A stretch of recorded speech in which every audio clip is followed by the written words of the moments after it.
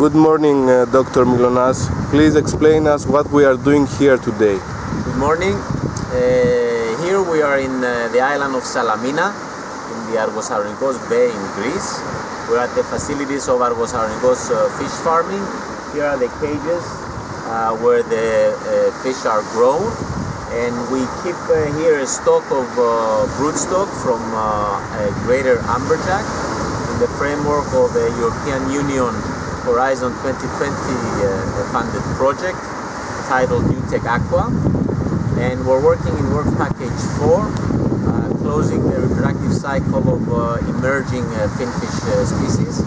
What we're doing in this work package in this facility is to try to optimize spawning induction methods for greater amberjack.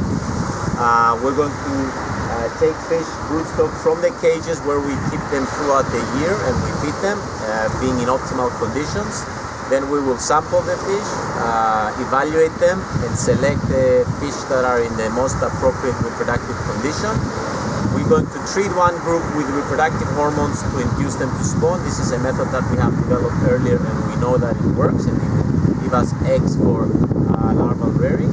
And at the same time, we want to compare uh, uh, putting these fish without any hormonal treatment in a large tank supplied with uh, salt water from the sea to see if we can induce them to spawn with just managing the, the, uh, the environment uh, and not giving them any hormones. The idea is that we want to be able to optimize the method without the use of uh, reproductive hormones for the objective of uh, producing organic fry.